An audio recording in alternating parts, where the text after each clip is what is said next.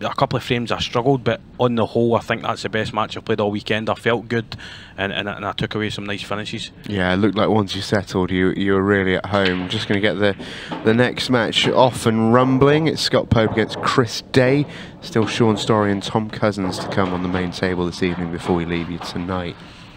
So just as these guys take on their first frame, it's Scott at the table. Some some day for you, mate. It, it, the performance there felt like the, as you say, it, it looked like the best, but it looked like it had been building all day. And I suppose if you can't take a load of confidence from coming back from nine two down, then when are you? But it's it's it's a long day to try and sustain that sort of level, isn't it? Yeah, definitely. And see, to be honest, I'm, I'm kind of over the moon because, I mean, I know was speaking to um, I think it was last night. Um, I've got a bit of problem with my hands this weekend as well, and, and, and see they constantly been on the table. Obviously, it's a good thing, but I mean, I'm kind of sacrificing kind of a wee bit uh, through the pain barrier. And I'm not the one for excuses. I've played with it for like a long time, but um, this weekend I've just seemed to be bad. But maybe it's a good omen, and, and I'm also trying to I'm trying to no lay Simon Webb down. You know what I mean? yeah, he gave you all the pressure early on this week, didn't he? Um, that match there against Jack, it, it looked like at the start of the match, it, it, looked like you just needed a couple of frames. Was that just because you just come off the back of a monster match on the outside tables and it was just getting to grips with the arena and the table just does play that little bit different, doesn't it? Aye, and against Lewis when on played in outside tables, um, it took a couple of frames to. I mean, Lewis dished the first few anyway, but it's just the angles just throw off a wee bit. That that's kind of I would say four, four, three, four balls faster. Mm. Um, so the more you play on that, it was like the last UP um, tour event down in Blackpool. Like the more you get to play on that table, I mean, it, it sometimes feels effortless, and you just feel as if you can't miss. And it's always a good, it's always a good like a good feeling, um, and I've not had that for a long while. But I mean, I feel good. I've been putting the time in. I spoke to Simon about that, um, and that's. Uh, I mean, that, everybody knows that's what you need to be doing. But I've I used to get away with that just pre-COVID. I, I, I didn't really put time in. There was that many tournaments, but and against this class, like uh, this field of players, like you, you can't get away with not putting time in. You'll get the odd match where you maybe play well and stuff, but no, you need to be putting the time in, and, and always like it's showing. I'm, I'm feeling confident. I look well now, so I'm, I'm, I'm buzzing with that. Yeah, as you should be, mate. Well, we're not going to keep you any longer, mate, because my goodness me, you've earned the right to. Uh, you go and book digs. yeah, to, to, a drink and a bit of food, and, and yeah, absolutely a lie down as well. Congrats on the, on the terrific run today, Cheers, mate. mate. We, Thank we, you. We'll see you tomorrow, and uh, and well done as well for sneaking in a bit of commentator's curse on the interview there as well. You can't miss on these tables, as Scott Pope missed one that he would love to have back, and it's going to bring Chris Day to the table, and also in the the commentary box, a, a, fairly swift substitution as well as from one Scott there to another. We're going to bring in Scott Yardley onto comms in just a moment. Headset going on. Great run this weekend that Scott has had. Seems to be a bit of a, a thing in common. Quite a few of the Scots have have gone quite well. Scott Pope here has had a brilliant weekend, came through on the winner's side, which is a qualifier very, very impressive. And uh, we can indeed say a very good evening to Scott Yardley. Good evening, mate. Good evening, Steve, and uh, good evening, viewers. And um, yeah, a bit of a surprising miss from Scott there in the first frame, but I said, he's probably the first time he's played on this table this weekend, isn't he? He's on the outside tables. Yeah, can't, can't miss on them, as uh, as Goobsy said right as he yeah. missed that one. Well, Goobsy can't miss on them, but uh, yeah, not as easy as he makes it look. Hey, but yeah, good. Um, obviously a good match up here. I believe Scott is one of the two remaining challengers that are left in of the. I think uh, Reese Townsend's obviously through to the quarter final. Yes, Reese is already through to the quarters, which is a huge result for him. No, it's a really good, really good weekend. Yeah, absolutely. We'll talk more about your exploits throughout this match as well, because I want to give you your flowers. Didn't get you on the arena table, but the performances you were pulling out were were fantastic, really. As we see CD get his first go at the table, the cut break that's been pretty faithful to him all weekend, staying so. And he gets his first go in frame number two. But I think Chris does something quite similar to myself. I think he tends to start matches with a cut break, and then if it doesn't work, he pulls out the uh, the break cue. Uh, he does he does strike it really really like, nice as well the, the, cut break. Well, he's a bit of a Swiss Army knife for breaks, Chris. He's, he's a bit of a tinkerer, but I know I know he was telling me earlier that on the outside because he's he's not playing the arena table yet. He's been outside tables all the way through, and he's been saying don't trust my own racks. I cut break every single frame. That's very. That's quite true. I mean, because I, I I do cut break more often than not, and it's actually quite nice. You haven't got to stand over the rack and observe it. You know. Yeah. As long as you as long as you're hitting the second one flush, it doesn't really matter about the front ball as much. But yeah, it's a bit of a tricky shot here. He just needs to sort of beat the yellow and come back out. He's got quite fortunate there to come off the jaw. Hand up, an apology. So I mentioned it's quite a friendly quarter of the draw. The winner of this match will head through, obviously, to the quarterfinals and will take on Ryan Pisani. And for as well as Ryan's played this weekend, I think both players, Pisani and one of Pope and Day, would massively fancy their chances of a semi-final. Possibly, but I mean, There's no easy matches, but no, I mean the fact that Ryan came through against Christie as well a few moments ago, and uh, Mm. Christie's just been ridiculous this weekend. I mean, yeah, on fire, hasn't he? he was playing on the table, uh, I think two to my left this morning against Luke Gilbert. Didn't see him for much then. No, it was just um, In and out. yeah. There was one frame I think, I think uh, I'd broken dry again, and uh, Reese was at the table just you know surveying the the lay of the land and the route and everything else, and I think he turned the clearance down, and then I came to the table and played lost a turn. I can't remember the exact detail, and I, it was four one over there over there when we started the frame. And I looked across and it was seven one. I'm like, they just had three. Chrissy just dished three frames in the time that we've taken to play like about He- half a dozen shots. It was crazy. Yeah, I mean, he was 10 1 and out in, I think, 30 minutes. It was extraordinary, really. As, uh, Chris is a little bit short here on this uh, on this red. So, going back to what you said a moment ago, obviously his first game on the arena, he's probably expecting a bit more of a roll and a bit more of a reaction from playing on the outside table. So he's probably hit that as hard as he would have done to, to land where he is now. But obviously he was expecting to run a little bit further because he's on the uh, on the quicker cloth. Yeah, so it's just about judging the line here. He's not too worried about the pot, although it does need making. It's just where the cue ball is ending up here. This is really awkward. Um, I, I, I wouldn't be surprised if he just tried to go through the gap and then maybe just even just left a double. So the gap of the two yellows, which he's done. Oh, he's in off. Yeah, that's gone. So very good chance for Scott to get his uh, first frame on the board, and I think it'd be the plant first shot. Just get rid of this yellow above the eight. Yeah, saw one for CD. And uh, both he and Scott Pope are going to get a bit of a freebie to get their last 16 campaign off to a off to know- a flying start.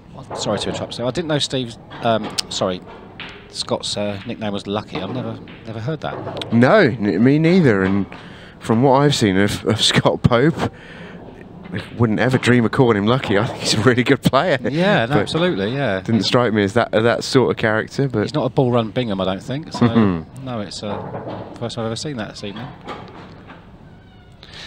So Scott was in uh, Pontins last weekend. So it was the county finals last weekend, England trials, etc., etc. And Scott came through the uh, the trial system there for the A's. So he'll be going to internals.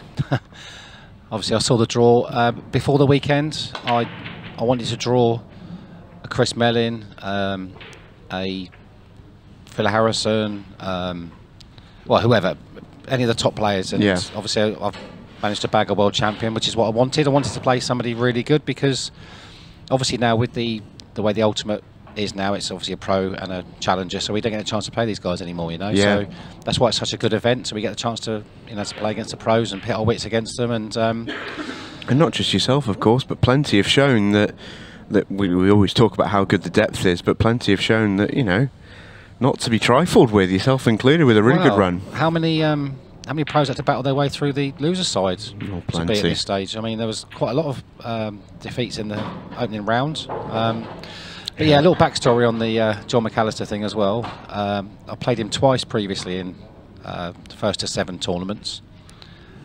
Basically, just sat there and watched him beat me seven 0 seven 0 Mm. And a lot. He, will do that.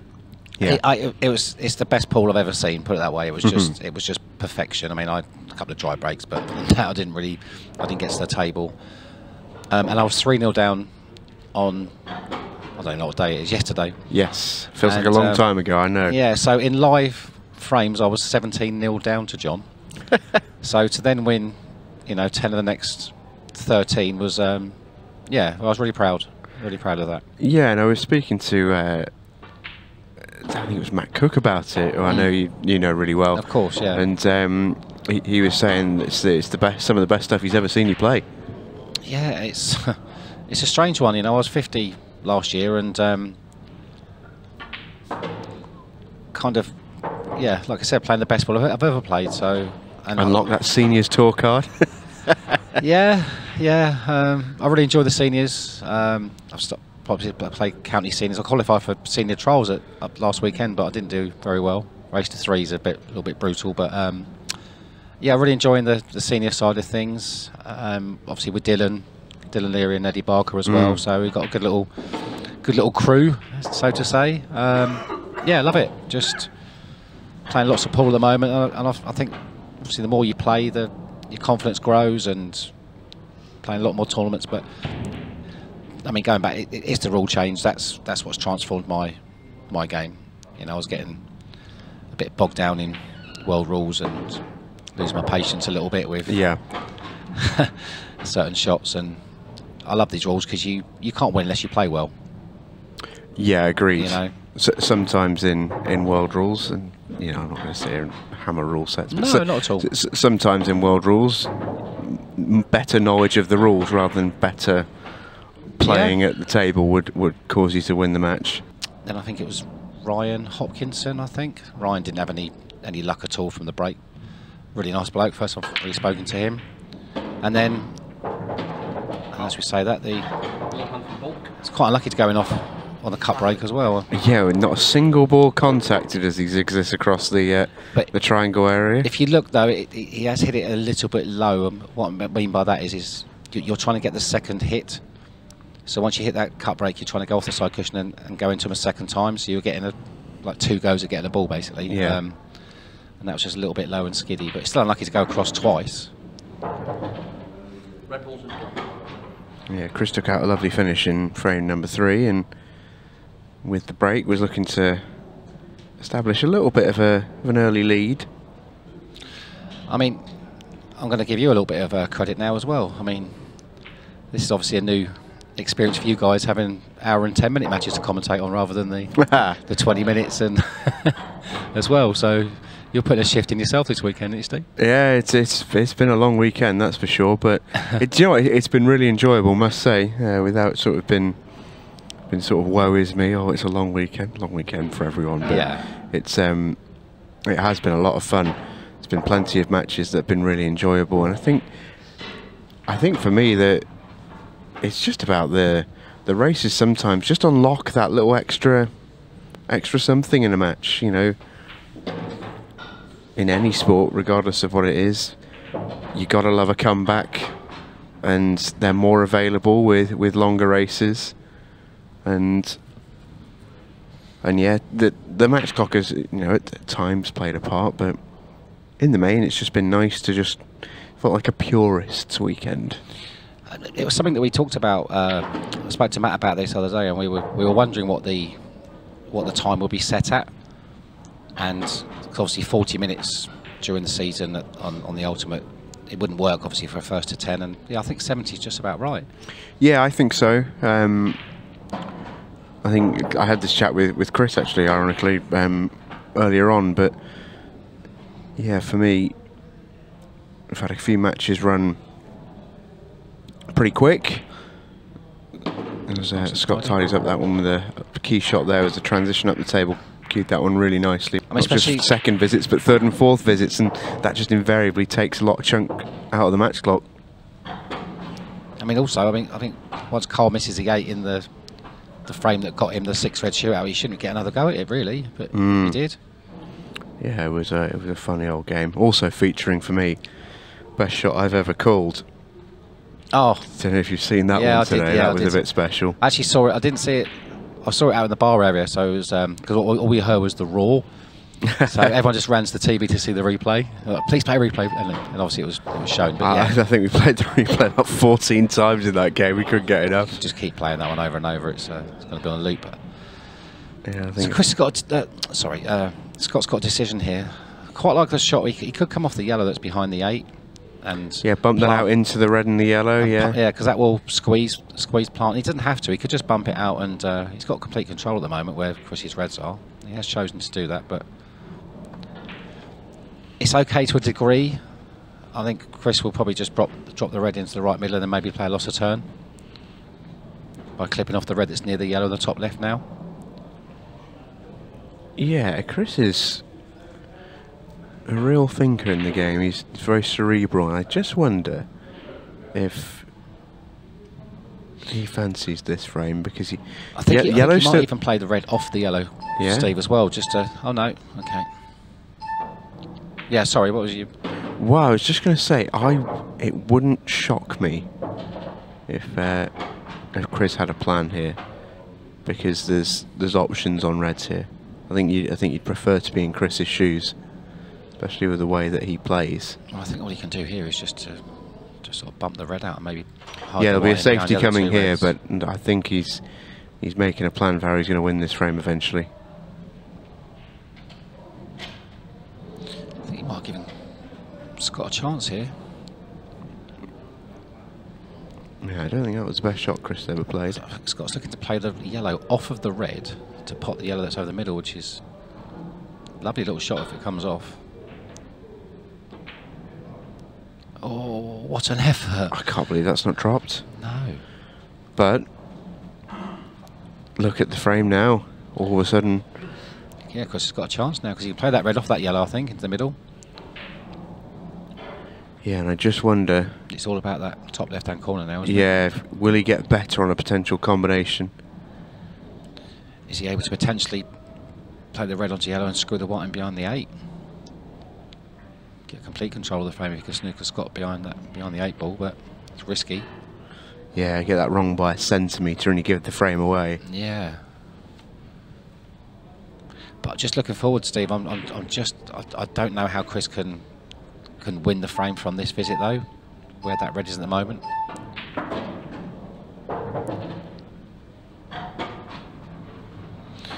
Now, believe it or not, the viewers at home who are watching this thinking no, but that red that the white's closest to actually will drop in the middle. Very acute, but Yeah, we're glad to be right behind it. Chris is going because you wouldn't have potted two balls without it, but I do just wonder what the plan is at the top of the table because I can't imagine he'd have got too much better on a potential Well- combination than where he was. The only shot I can see him doing now, Steve, is to try and get the cube, uh, the cue ball to the top cushion near the end of the clearance and play the back Mm. double on the red and bump the uh, eight ball out at the same time. Nicely controlled shot. He's a little bit unlucky there. as That's sat actually on the rail. He's left to flick this back across with quite a lot of left-hand side now to get back across the table. I think that's the only way. uh, That's all I can see him doing here is just going up for the for the double on the red.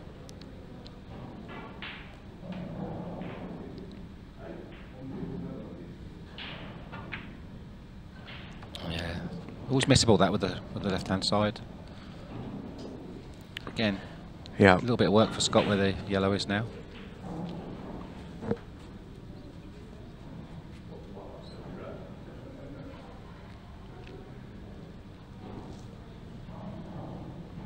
Scott's having none of it.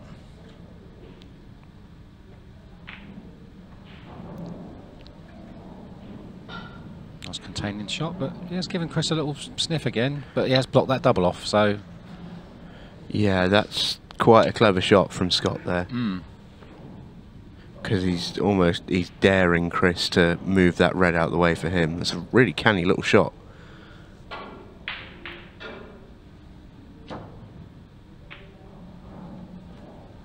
Yeah, Chris didn't want to anything to do with that red that's hovering over the pocket.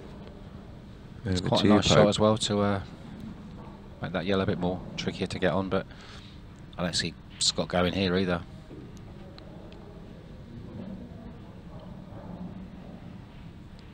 Maybe considering playing the up and down and try and take the red out the. Off the Corner yeah, pocket. I like that shot a lot. I think he was going to play the loss of turn next, wasn't he? Once Yeah. He'd, uh, once he potted that. Well, he's got a five to three advantage, so I think that would have been four to three. here. Yeah, absolutely. Is Chris just going to try and double this now? Back down to the red over the pocket? No.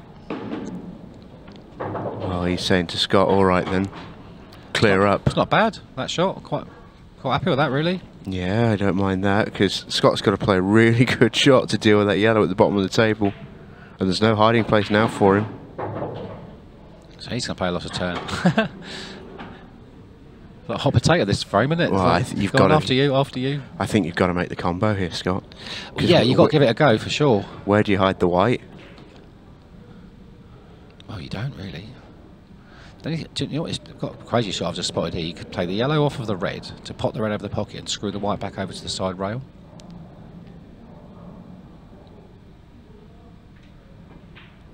So just a loss of turn.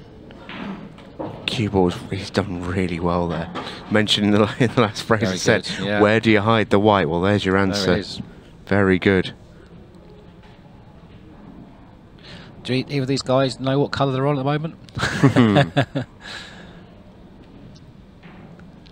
There's a loss of turn available to CD, but again, it's hiding the cue ball now with so little. He, he- he might try and send the red up towards the, the 8 here, just to make that a bit more trickier for Scott to get to.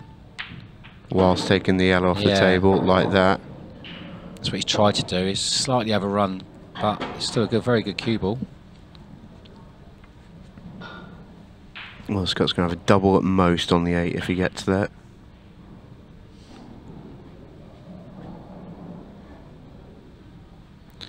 I tell you, if you were a betting man, you'd be all over the shop in this frame, wouldn't you, with who the favourite is? Yeah, the favourite now is whoever's at the table. Yes. That's lovely quick here in there. Very good shot. A little bit unlucky how well he struck it, to be fair, but He's got to cue another one in now. I think he's just enough, just about skinny enough to pot this and come off the back cushion and sort of nudge the red. I think it's one of those you've just got to concentrate on the pot here because pot's everything, just to keep it, you know, uh, give it an opportunity. He was able to nip it. Wow, what do we know?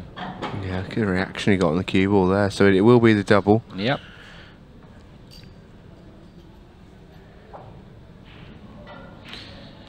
I always favour punching these as well rather than the, the slow roll because you bring the slide into play if you slow roll it.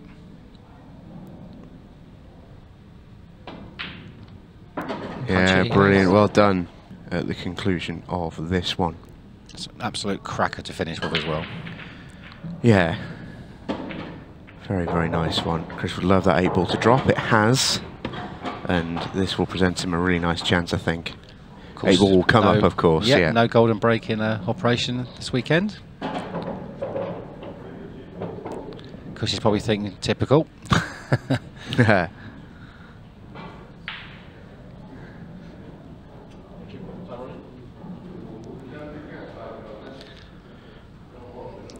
Definitely favouring the uh, Reds here. it's just his opener, isn't it? Yeah, it's probably going to be the, the red to the top left. Maybe screw over to the side cushion, but I mean, yellows has got too many ifs, buts, and maybes for me. There's Yeah, that red hovering over the middle pocket's big on yellows, isn't it? yeah, so Yeah, it has to be reds. First shot's tough, but then Yeah. after that you'd expect CD to be able to pick it apart once he gets control of that cue ball. okay. So the red that's directly in as he's looking across now, that obviously does pass the other red. You don't you want to pot this clean. You don't want to nudge that other red that's next to the middle because you could potentially knock it somewhere awkward. It's all about a cannon here, maybe on the on the red below the red that he's hitting. This could be the key to the frame.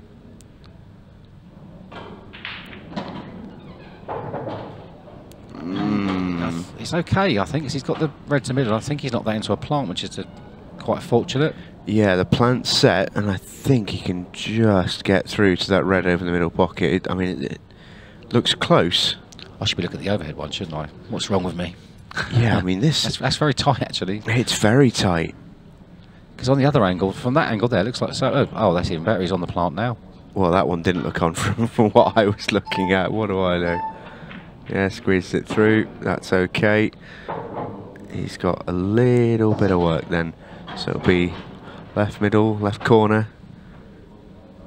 And Any reason why Chris has gone back to being CD?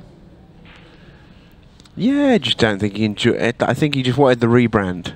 No, listen, there's nothing wrong with it. I think it's actually quite cool. Yeah, I, I enjoyed Judgment Day, but I think he, uh, he just felt like it wasn't really him. I know that um, from playing Interleague over the years for Maidenhead A, and we come up against Colchester quite a lot. And that's Decent interleague battle that. yeah, they were obviously Chris and uh, Sean Story, and to name you know a few others guys in that team. Really good side, and we did all seem to get the better of them in recent years, which is good for us. But anyway, um, but they just drop that one in there. yeah, might as well. they, um, I'm pretty sure they used to call him Christmas. Oh yeah. Seasonal nickname maybe. Yeah. So this is all about just topping through and just running through the yellow, like so. Very nice. I can call the shots, and I've managed to play a few of them this weekend, which has been even better. Yeah, enjoyable, mate. It's a nice finish from Chris Day. Wasn't as easy as it might have been. Nope. That really nicely. Oh, that's the only problem you get sometimes with a cut break. You get the dreaded. Uh, do you know? I've only spotted the the crazy three ball plant into the uh, top right corner here. Or could you sneak it in the middle if it's on the jaw? No, I think it's. I don't think he can, get the thin. Sorry, I don't think he can get the. I think the eight's in the way of the Yeah. the potting angle maybe to put that yellow in. Yeah, awkward. This is this is really tricky now. Because the more yellows he starts to clear off the table, if he doesn't deal with that area on the right hand side, he could just play himself into trouble here.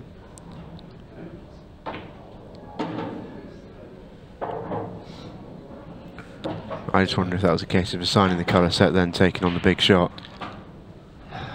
Is he looking at that three ball plant now? It's the top corner. I mean, the only trouble is, is the, the yellow that he, he strikes first. I can't see it going anywhere than in amongst the red and the reds and the eight. So I think it ended up looking like a real wild one.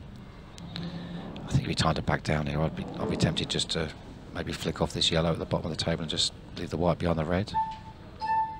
But no, Scott's having a go. Well, he's seen something we haven't, because this does not look like a finish. I'm not very impressed with all these good pool players that are called Scott, by the way. You know, Yeah. like I've, I've got a Been a good run for the Scots, though. I've got a heck of a list to hmm. contend with. it's quite, I think it's one of the most common names on the on the tour as well. Weirdly, Yeah, there's a fair few. yeah. I, I, I'm not criticising because obviously Scott's got further than me, but I, I just felt that that was always a Well, fair enough. I am. Yeah, okay. I, I just can't believe that's ever the shot there. Really. no. Because I, I um, think even if you go into that crisply, full in the face, I don't think they're going to go anywhere anyway. Yeah, Chris is going to make him suffer.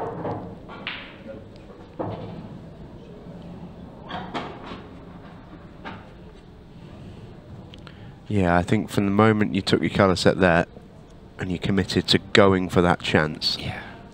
I just can't believe that was there. If you didn't have a way to solve those two yellows other than screwing into them from the top of the table, I just don't think you can go there realistically. And we could be here for a little while because Chris is not going to commit until he knows he can win the frame.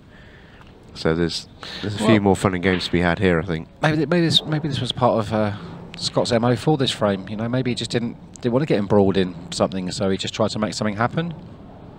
But I mean, yeah, good luck with this one. Well, Chris doesn't want to snooker him too well because he wants Scott to be able to hit it. Of course, He, he wants to create some natural sort of movement there. I think the middle pocket's in the way of the natural two cushion escape here, and I wouldn't be surprised if the white just flew straight in the middle pocket without touching anything here. And Scott would probably take that as well if that happened. Oh, he's got, got Cole Morris ideas going on. I'll tell you what, that that looks like a fantastic shot. Are we going to see see that again? I mean, that was Oh, absolutely. what a shot that was. Wow. What's going on today with people just arcing off cushions? it's a terrific shot, and it, the, the only downside for Scott is I just don't think it's going to Well, get you him know very what? far in the in the frame. The only shame. Do you know what? He might be able to cut this yellow in the top left-hand corner, believe it or not. And if he does, he's going to get movement on those those three balls on the rail. Well, hold on to your hats, folks. Oh, how how has he not? Well, mine's How just fallen not off. touched anything there? I'm having to pick up my hat off the floor. What a pot and desperate not to clip anything. I'll tell you what, fair play to him. That's a really good shot as well. I mean, it, He's done what he can. yeah. I think he might find himself snookered again in a couple of moments, but I still can't believe he's popped that yellow and not touched anything. Can you?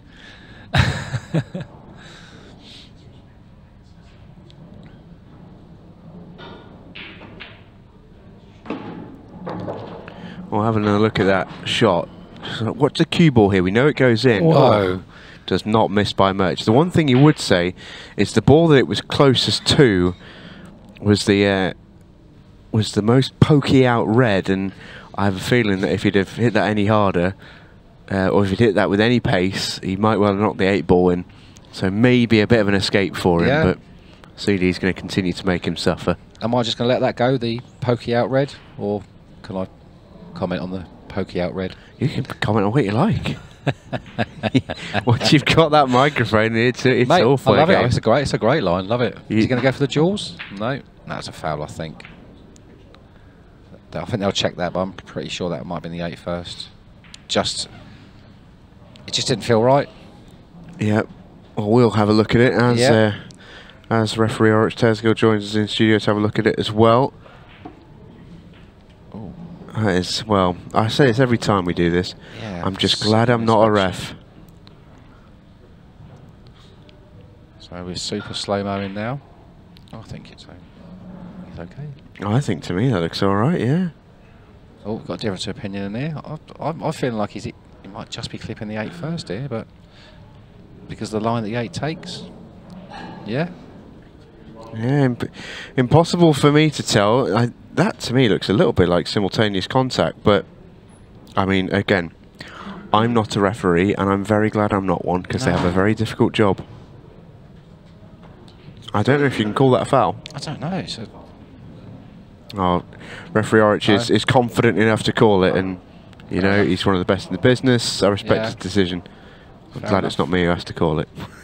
yeah, absolutely. But um, The one thing you should say is it, I don't think it's going to make a huge difference as to No. who wins this frame. I mean, Chris has literally moved the white ball about a foot away from where it, where it landed anyway, Yeah. isn't he? So it's it's just Yeah. a case he can just pick his route now.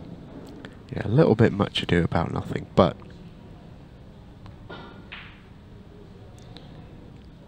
I feel that where the eight is at the moment, um, it's probably nicer for a double, but the route he's taking here, he well. If he puts this red to the left corner now and then leaves the one over the bottom right, then I think he's going to go for the double.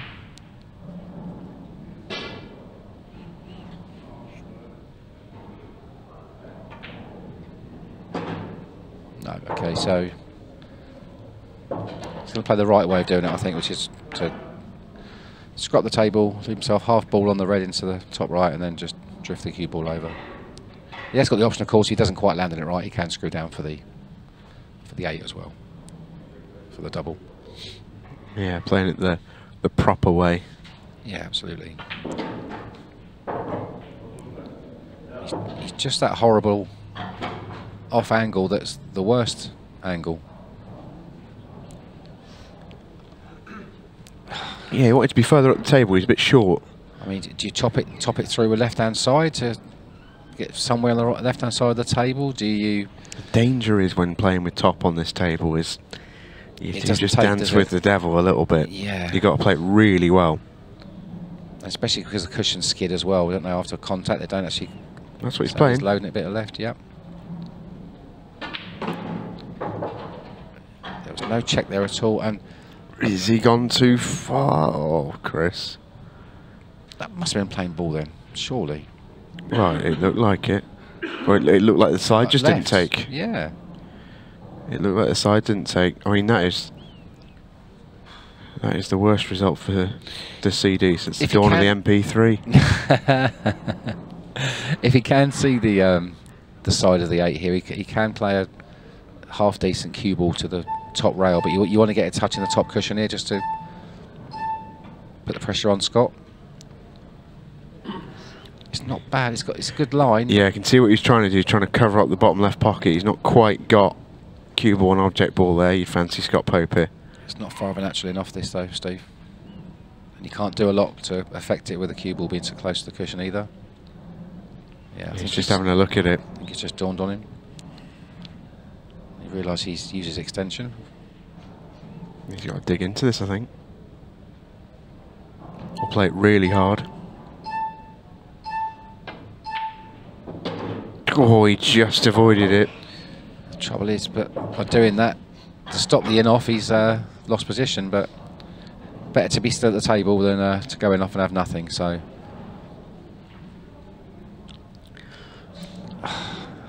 Up and down.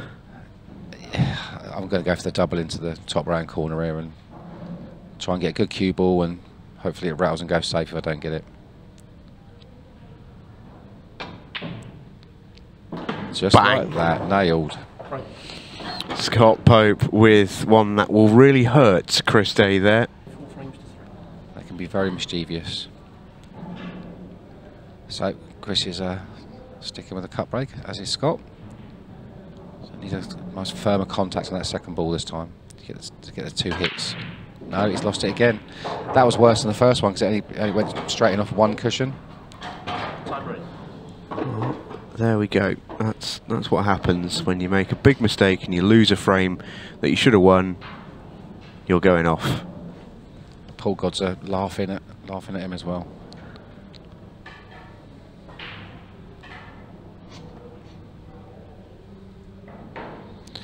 So every yellow has a pocket here. It's just about keeping the cue ball out in the open.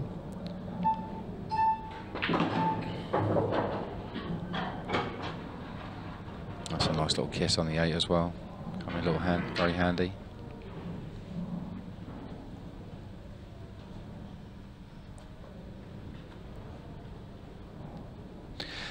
Scott seems to adapt really well out here. I noticed. Uh, was it one of the? Always played well when I've seen him. Yeah. Yeah, was it the? He played in Last Man? Standing, um, right. Which that. we saw him on here, and Mhm. I, yes, he was in the amateur championships as well. He had a decent run in that. Was it like semi or last group stage he got to, didn't he? I think. Yeah, it was an event that I didn't see a huge amount of, but I know he went to the final eight. So he went. He obviously won his weekend. Yeah. Um, but he- I, I think he's a super player. I've got a lot of time for his game. he's a real student as well. He, lo- he loves the game. He, he's a very avid practicer as well. He's, he does different videos on social media and stuff like that. So Yeah, I, I really think he's great. And whenever I've spoken to him, he's he's down to earth. He, he sort of, I think he he's got self confidence without veering too far in terms of you know anything like arrogance. no, I, I He's- he's- agree. he's- yeah, no, completely agree. He's a, he's a terrific, terrific young man. Five three, he leads. That was a was a rapid fire reverse clearance. It just makes Well- that big Chris Day error in the last frame just feel even more Yep. massive. Oh, after the way 16 that the last frame came out for him, I don't blame him. He's got a very good front ball break. Yeah, very nice. It's dry though. But yeah, you're right. I mean, look at that. Look at those. That spread is. How about so these unlucky not to get yellows? Well, I think one thing I would say is Oh, this is a decent chance. You could, get, you actually Reds. could red to the ball. Yeah, to be red just because though. just saw the one at the bottom of the table. Yeah, And the one on the, the right hand side as well, past the middle. yeah, got to be Dig reds. This one. Played it well. Where's your next ball? He's, I think he's on the one to the top. He's Yeah, okay. He's okay, yeah.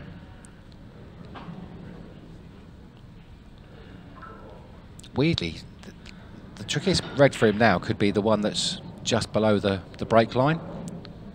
So obviously he'll drop this one in the, in the corner now, but he can't pot that one below it just yet. I just wonder if it goes to the left middle. Just wonder if it threads through that gap. There we go. I've been caught out by the overhead again. Uh, Mate, it, I can see it well, welcome. This is this is Yeah. my weekly existence.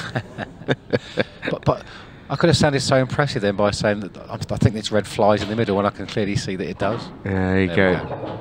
Yeah, very nice. It's, it's a nice little layout, this. He'd love to be just off straight on this, just so he can punch over for the uh, the red next to the red that he's about to play. Yeah, he's good.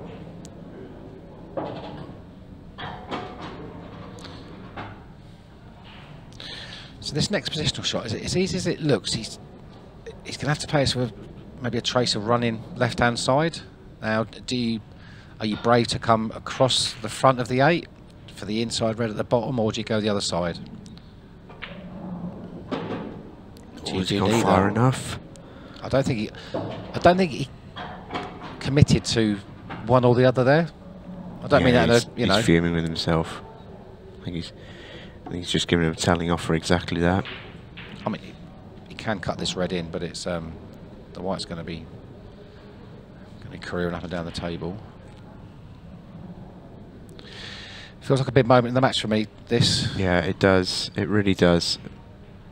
you know, could be talking about a one-frame deficit or three.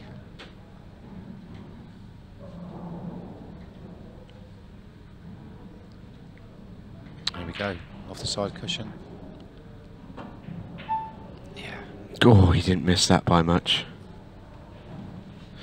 He's still got some capital in the frame because the bottom right side, bottom right corner is, as we look at it from the main camera, is a pain for Scott Pope. The eight ball and his yellow are almost tied up by it. It doesn't mean he can't go, and but it does just give him something to think about. Okay, so I think what he's going to try and do here, I think he's going to pop the yellow in the, the uh, oh no, he's going to play loss of turn. Lost turn the big screw. Yeah, like that. Anywhere top left is is good, but don't leave a. That's very good. Do you know, I've played so aggressive this weekend, I didn't even see that shot. I don't remember actually playing that many loss of turns the whole, the last two days. The only the right downside here is I wonder if Chris fancies the combo because the yellow's gone quite far in the pocket. I mean, it's Steve, he's got no choice. I don't think. Well, yeah, but I, what I mean is not just obviously try and play it, but really fancy making Yeah. it. If you spin this on the right hand side, you can the, you can transfer the spin onto the, the red onto the yellow, like so. Yeah. Not a bad just effort. thin, but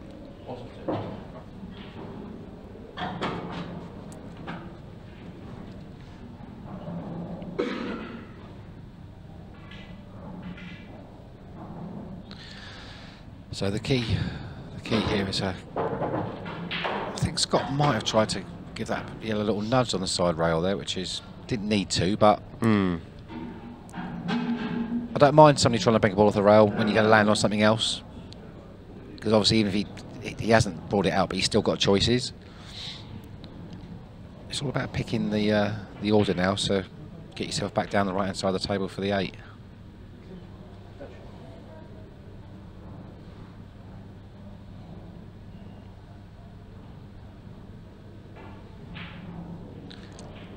So is he going to drop this in and come round off uh, two cushions again? It's going to be going. Had another go at it. No, that yellow is not for budging.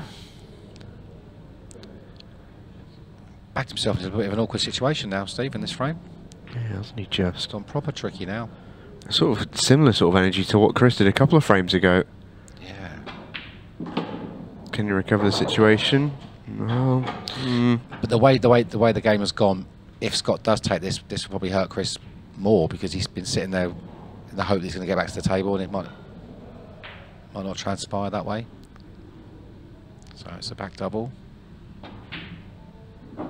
Lovely, but has he got any kind of an angle to get across? Mm. Maybe. Is this like a check off the cushion though, and not? Is it kind of like going to get trapped and not go very far? That's the only thing I'm thinking. Is he going to consider playing the uh, skill shot? All very valid questions. He is, you know. Lesser of a few evils is the choice. Massive shot in the match. So it's going to be six three or five four. So it's, just set to the right of the pocket, but if you if you just forget the reds there and just pop the black in the centre of the pocket, it should follow it in. Oh, it thought about it. Oh. It thought about it. Oh, Just teetered on the edge of the pocket. And Chris Day gets away with one and is back in the match at 5-4. do you know? I think Chris should be happy with the five four scoreline at the moment. Oh, he's over the moon for it to be 5-4. Anyway, back to the pool. Um, so that's a much better cut break, and is he going to get any any luck? No, he is not. Much better strike this time.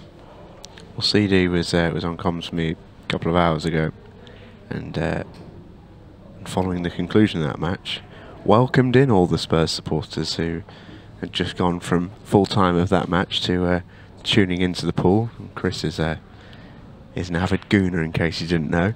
He was. Uh, I didn't know that. He was. I actually liked him before. yeah, I was going to say, yeah, might change your opinion of him, No, not at all. but he was. Uh, he was. He was thrilled and very welcoming. Let me tell you. You worry about, worry about your own league position, don't worry about ours.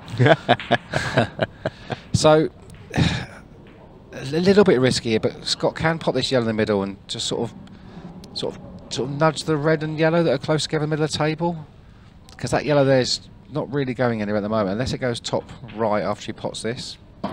Okay, so that's what he's going to do. Has he landed on one? He might be forced to take the plant here, I think. Red, on- uh, sorry, yellow onto yellow. Awkward, bridging over.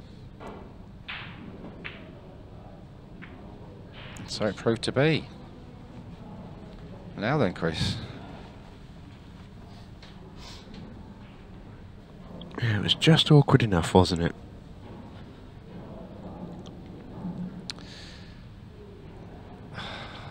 I think he might just just try and get on those res later on now. I think he's going to have to go here. Well, the thing is, as awkward as that corner pocket is, he doesn't need to use it, and he's got options to to get down essentially where the yellows are, and then the reds go across the bottom cushion. Exactly, that's what I mean. I think he, you know he has to sort of work away getting across there. I mean, could Get there now if you felt really fruity. yeah, he could he could pop the red in the middle and screw through the gap of the two reds. So you got the red directly to the, well, the blue spot on the snooker table and the red below it. If you screw through that gap, you might be able to get across and down. I think that's. I think you. It's the shot to try because if you don't get it right, you've got options, don't you? But I wonder. I'm just thinking, can he can he pop this red down the rail and beat the yellow and go across? So what will happen is the white will arc off of the off of the side cushion and go around the yellow over Yeah. towards the left hand side. Almost through the gate of the yellows. Yeah. He might even get lucky and get a flick off the, the top yellow and go still get over there.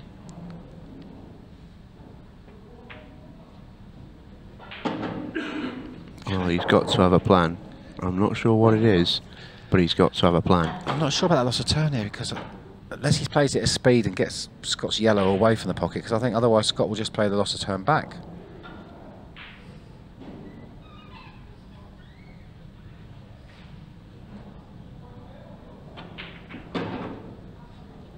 Oh, what a shot! What a shot! How on earth has he squeezed I, that red I in? don't know. I don't know. I think that's That's an amazing that's shot. such clever knowledge to know that it's going to get that flick off of the second yellow as well. Yeah, that's an absolutely brilliant bit of vision from Chris Day. I'm going to practice that one for this weekend. Just I've never seen that shot before, so Yeah, that's such a good bit of vision from CD.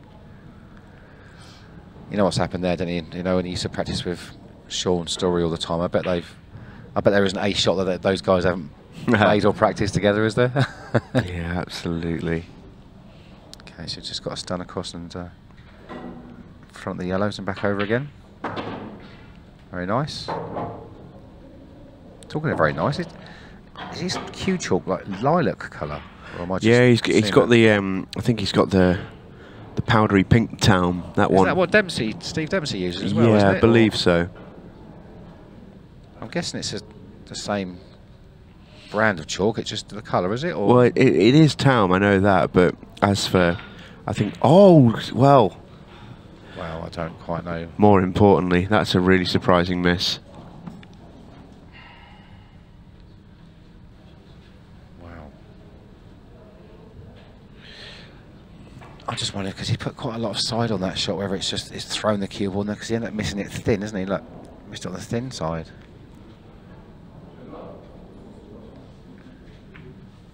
Scott's turn to uh, torture Chris now. I'm really surprised by that. I think Chris has got to come off his back cushion here and just slap the red. Try and knock it clean in the right middle or just get it moving. He's looking at going up and down, but I think his thinking is if I, you know, get it pushed towards that bottom right corner pocket, it, it introduces maybe an element of risk. oh my gosh. He hasn't, has he? Oh he hasn't, gosh. has he? oh, CD. He needs to follow it up with the eight ball now, though, after you've uh, done something like that. Yeah, gotta make these. Is to make it level as well. Was it ever in doubt?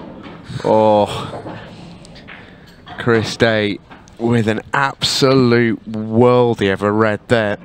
Back to the cut break again. He struck the last one really nice. I know it was dry, but Oh, pool He's players up on the front. fickle. the cue ball straight in the top corner. yep, cheers. And he'll be thinking, yep, not so lucky now. Well, he'd be thinking, how have I gone in off in the top corner with a cut break? And that's because he got that second clip, which I was I talking mean, about. it, it, it, it is a fair question. I Yeah. mean, I think you're within your rights to feel aggrieved in that Yeah. scenario, aren't you? But CD now with a with a chance to really just put the pain on. It's the yellow, isn't it? Yeah, Nice shot. and he's held that well because he didn't want that yellow to get involved with the reds and the eight ball. So he's he's come up okay. His worst red is the red that's directly next to the eight at the moment. You want to try and get that cleared out of the way as soon as possible, and that just opens the eight ball up to, well, every pocket by the looks of it. Yeah, it, it's a, it's a fiddly little one. I think it's one he can pick apart. The red right next to the eight ball, once the other two are, are gone, goes in quite a few pockets. But it's just about getting your order and your pattern right here.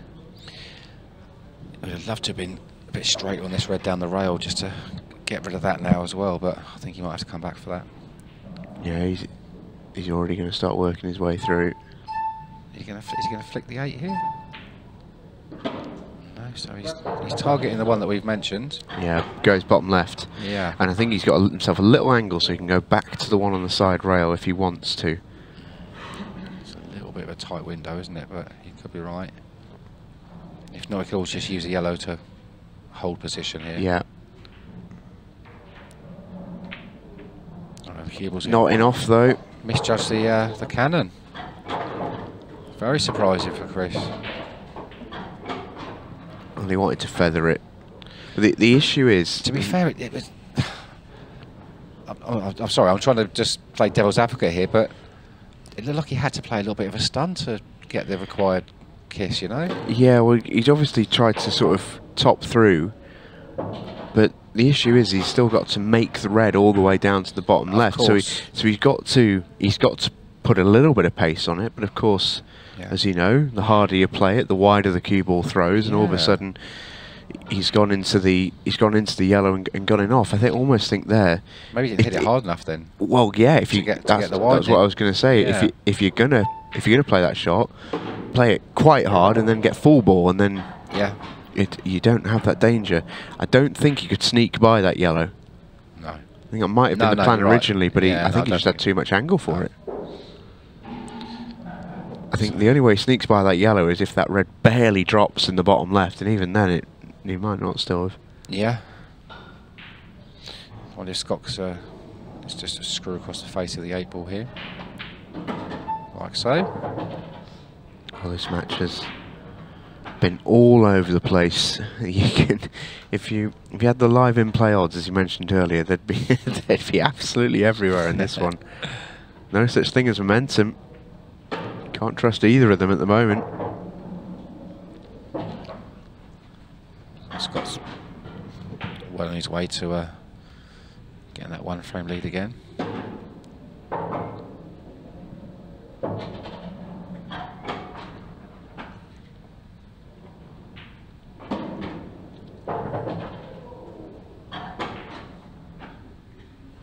I mean, you know, it's it's marginal, but I, I feel like Scott's looked the better player out there so far. But again, Chris is only one frame adrift, so okay. Cut break or front ball, quick. Oh, you're too slow. Just going to go cut break again. He's going to stick with that cut break all the way through. I'd, I'd be very surprised if Chris changed. He needs to thicken this as well. Get nice thick contact on that second. Which he has. Has he had any luck? No. Now Scott. All about one yellow. That's the one that's just hidden behind the red on the uh, left-hand side. Could make a case for reds. Actually, looking at it, wonder if he can pot this red and uh, pots this red, plough into the yellow on the left, and plough into the rest of them. He tried to.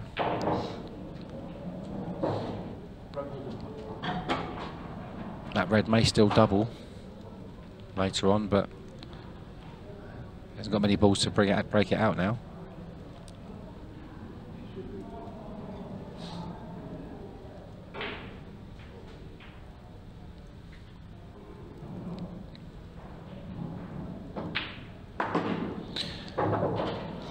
So obviously both these guys will be. Well, I'm assuming they'll both be in Blackpool in a few weeks, and that will soon come around again, isn't it? The uh, It really will. events. Uh, It's it's a good it's a good time to be a player at the moment. Lots of tournaments on the horizon. and maybe a bit warm. yeah, chance to be a fine thing.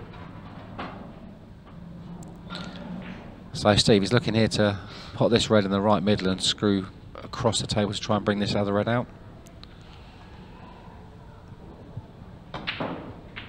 Oh, it was tough. Just forgot to pot it. But Chris has got the same problem still that uh, Scott had all along, and that's that red and yellow tied up on the left-hand side.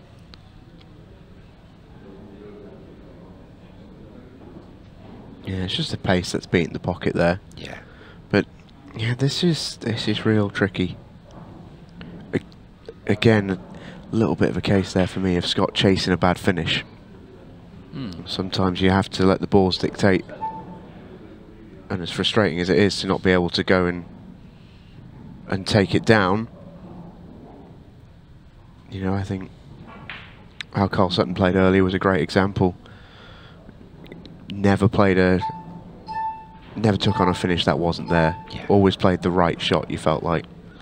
Well, I- feel that's a case a lot of the time with, with Chris as well, with Chris Day. I think you know, I think Chris will, if he's six six one down or six one up, I think he'll still play the frame exactly the same way each time. It's just that he's he's not quite on it at the moment, is he? In this match, Yeah. Not sure. Scott, if the red goes past the yellow. Not quite sure if it ever went really, but um. So decision time for uh, Chris Day. Does he uh, drop this yellow in the left middle, and the yellow that's further down the table? Can he pop that in the bottom right corner and uh, go into that little cluster? No. Okay. So. Oh, that nearly uh, did a Cadbury's parrot then. Did you yeah, didn't it? Did a little roll around the pocket. Yeah, relieved to see that one drop in. So three ball plant incoming. Nice angle for this as well. So cushion first and then the red. Yeah, nice. Yeah, Let's play another one now. Yeah, it could have come out kinder. It really could have. It may just pass, you know, that top yellow, but it might be off the the far jaw. It's uh, it's tight, and the the plant's horrible as well because it's an unnatural plant to play. Does this just squeeze by on the right hand side? No, it Oh, was I'll the tell you plan. what, He's played it really so- well. That's so much harder than he made that look. Oh, the lesser spotted rest. I can tell it's the first time that's come out Wow. in a day and a half's worth of pool. well, well, two full days of pool, I should say. Quite a fancy one as well by the looks of it. Yeah, it's good gear here at Players Yeah. Pool and Snooker. they look after you. Okay, so yellow top left, yellow right middle, yellow left middle.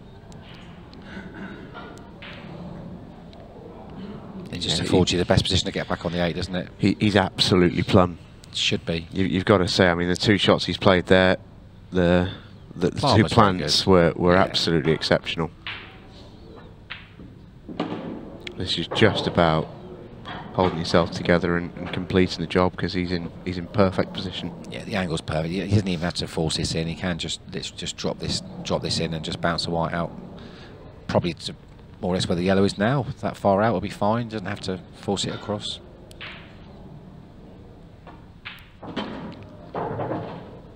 Yeah. So.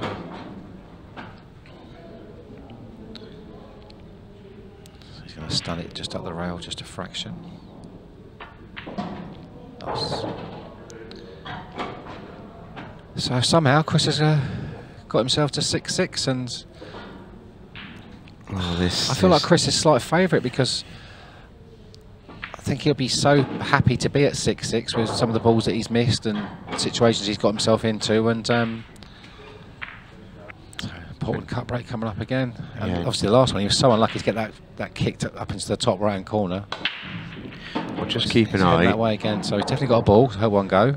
Yeah, tricky finish though, and just keep an eye on that match clock as well, Scott, because this is this is going to zero on the clock. I feel like This isn't bad, you know.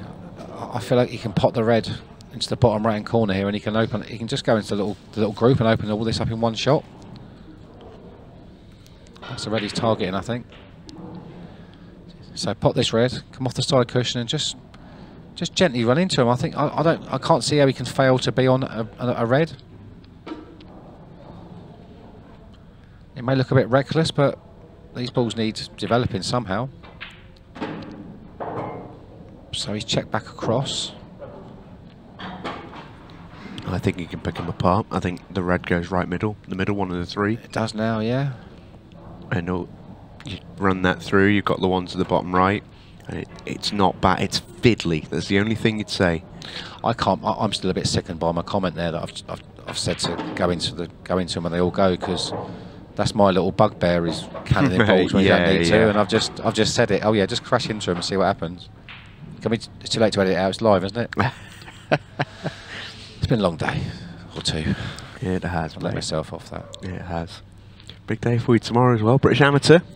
Gosh, yeah, yeah, um, yeah. Like I said, I didn't even know about that until three days ago. That that competition. I, Yeah, Bru- Brucey bonus for you. It was. I looked at the live scoring to, just to, you know, to recheck who I was playing in the British Open, and I was like, "What's what's this British Open amateur thing here?" I was like, oh, "Okay, thank you very much." Uh, I think it's a really nice touch for the for the players, particularly the amateurs, because obviously, you know, you go to all the effort to qualifying for this tournament, Yeah. and you could very easily all of a sudden play two matches against established pros and find yourself out of the competition. yeah, do you know But- what? It's a good show actually. But actually, you get a little bit of an extra reward for sticking around, for committing your time and all the rest of it. Yeah. And you get you get some matches that are right on your level, and you can go win a trophy. Well, we- we're playing the the challenger races tomorrow as well. You know, first to Yeah. sixes, so it's, it's what we know. It's uh, what we're accustomed to, uh, so to say, uh, so to speak. Sorry. So yeah, looking forward to it. It'd be. Um, I did have to, not so much grovel, but I did. Um, all right. That was got a a feeling re- that Yeah, it was a really classy finish from Scott Pope. All right, has he got the ball? He has. And He's got a split. He's Oh, got a little bit of work, but he's got a split. how many frames have we had that those two balls on the left hand side? I don't think there's It's there's been many. In fact, the last frame was probably the first example of it where a player could come to the table and essentially there was no work to do. It was pick your route and, and make your clearance. It's There's- been work, like you said, it's been hard work, hasn't it? yeah, pretty much every frame. Okay, so I think I'll see what Chris is going to play here. No, you know, I've given up even predicting it now. What I actually thought he might have done there, Steve, I thought he might have just just beaten the yellow. And you see the two reds that are together on, on the um, Mm. bottom of the table. He could have played either of those two reds off of the yellow into the corner. He's still going to play it now, but from the cushion, this is really. Was he going to top it through and try and bring it out to play? Time foul. That was a time foul, surely. Yeah, hundred percent. I don't even think. Oh, yeah, Orich isn't even going to look at it. Unusual for Chris, I think. To Yeah, big, very unusual. I think he, uh, I think he just miscounted the beeps because he, he wasn't even close to playing it. and he didn't use his extension either.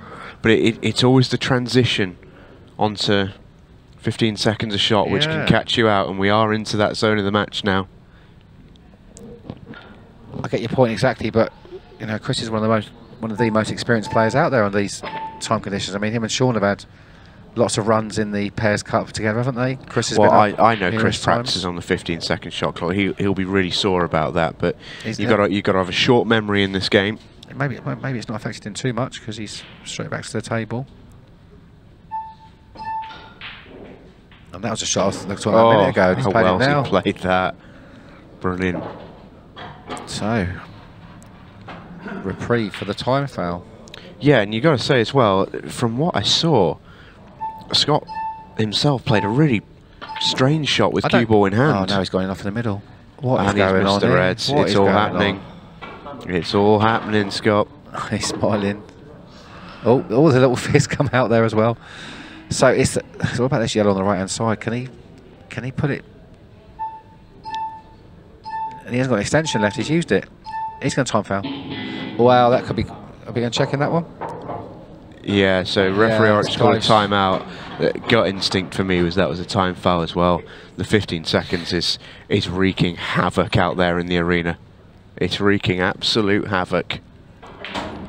It's massive this as well because if it is time foul, then Chris can just take the pick the cue ball up and just pop that red in the top round corner.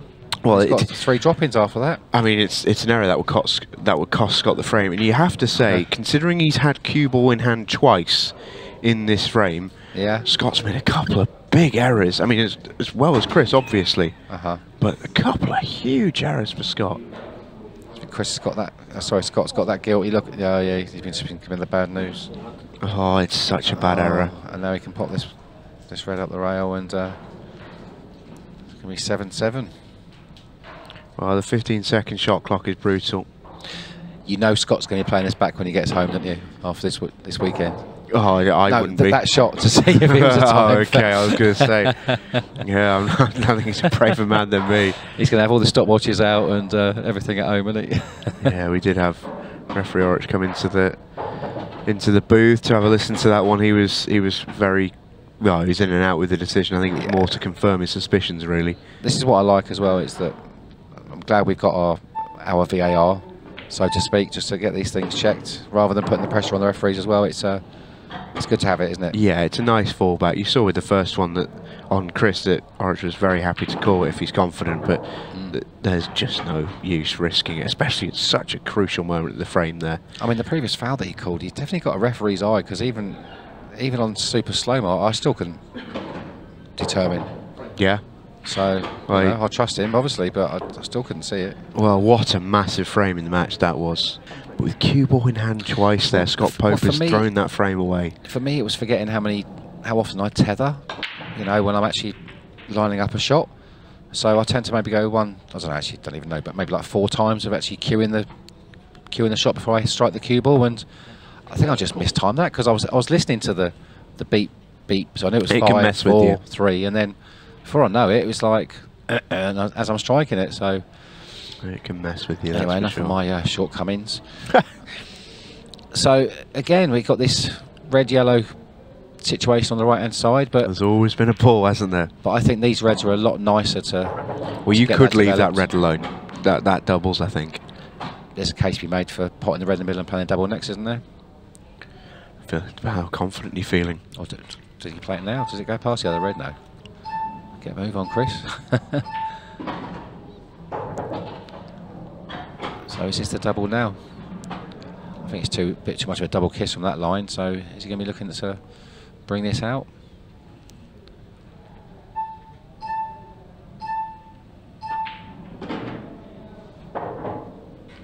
It's running out of options here. Is he going to be cheeky and play the red off of the red that's next to the yellow?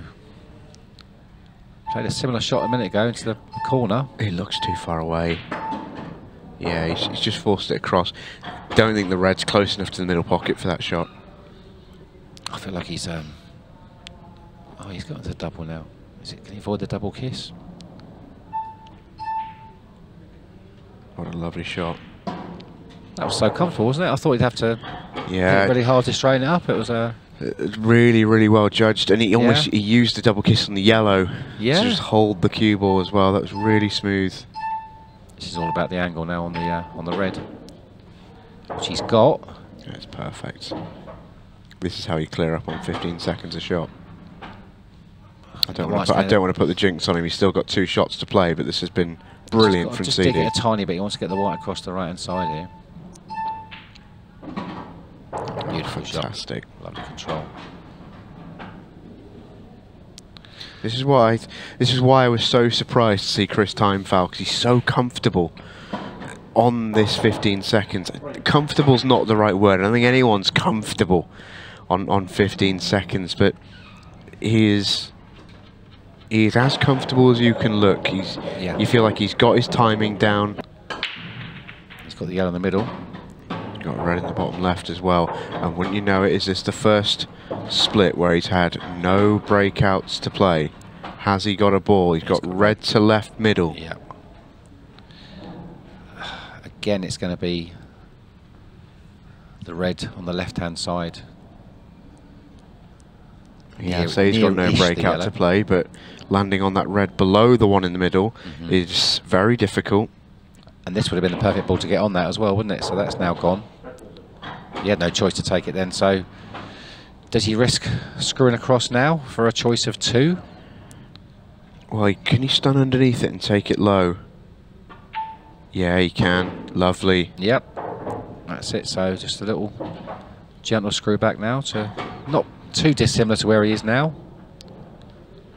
Of course, bridging makes the pot a tiny bit more difficult. It's not too taxing, but yeah, he's fine here. I think he can just top this up the table now, Steve. And he's just. It, I'm actually aiming for the, the the break line here. Is my is my aim point here. I want to get as far as the the break line. Oh, he just caught the yellow on the way through. That's Yeah, he's, he's okay. Mm. He's okay. He's just got to decide what he wants to do with the eight ball now. so and just that'll dictate which angle he leaves on the red to the drag, middle. Drag left hand side shot. Lovely. He's fine. The eight goes in the, the top left now, doesn't it? Once he pops it in off the cushion.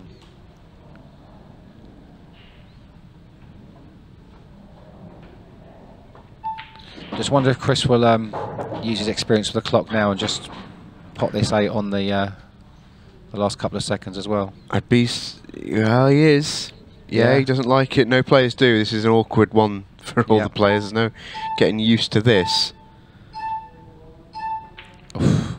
So I would I would leave it to a one. I'm sorry. I know he's he's timed it perfectly, but The I, timing is there. well, that's the perfect example. That Yeah. just shows how he's got In that tune. timing down. yeah. So Scott Pope is going to need three. Right, Right, two and a half minutes break. for Scott Pope. He needs a quick clearance here. Oh, No it's- golden break, remember. Oh, not only to get a bad. Oh, he's conceded. And he's going to concede Oh. the match. Oh. Chris Day is going to win it. That's a fantastic result for CD. Frustration for Scott Pope. But Chris is a very, very happy boy. He's into the quarterfinals.